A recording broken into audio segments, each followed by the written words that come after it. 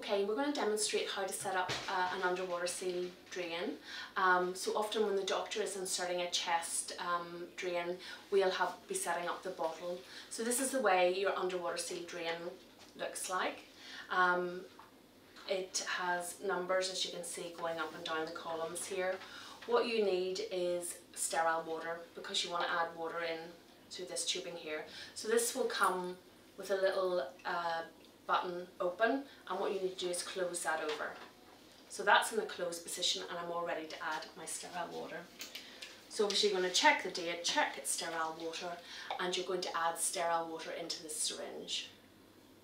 And you're going to add it in right up to the top of the little line there. It's approximately 45 mils. When you've that all added in, you're going to open up and let the water drain into the bottle. Down to the bottom here, there'll be a bit of a change of colour here.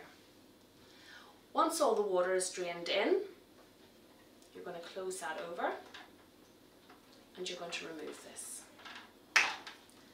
Okay. Now, you want to stabilise this. You can stabilise it by turning this round.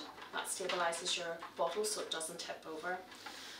At the back, you've got your tubing and this is the tubing that you want to be able to attach to your chest drain. But we need to add in another connector here that's called the thal connector.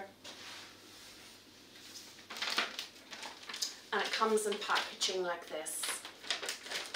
So you open this up and remove your thal connector. Looks like this. So you've got a spigoted end here for your underwater seal drain you pop that in here. You've got a clamp here that you can put on. You've got a sampling port so that you can remove some of the fluid from the chest and, and send that off. And then this part here will attach to your chest drain, to your thal chest drains however only. So if you're using a pigtail chest drain, there's a slight difference and I'm going to demonstrate that now to you. So with your pigtail catheter, you're going to have a little spigoted end um, so what I need you to do is to cut the tubing, remove this part, and you're going to rotate the connector round and you're going to attach the connector here and pop the spigoted end here. So you can see it like that. And then that will attach to your pigtail uh, catheter that you've inserted into your chest drain. Okay, so that's how all your connectors work. Now we're going to go over and um, set it up with the baby. Very importantly, this underwater seal drain must be kept below the baby. So I'm going to wheel this over now and hand it over to the doctor. Okay, so now I'm going to hand this over to the doctor with the connector and it's clamped. And we're always going to keep this bottle below the baby. Okay, so now we're going to look at continuous suction. So if we're going to place um, the baby on continuous suction, what we need to do is add some sterile water into our bottle. So how we do that is making sure this is closed. We're going to open the white port at the top here. We open it up like so. We get our sterile water.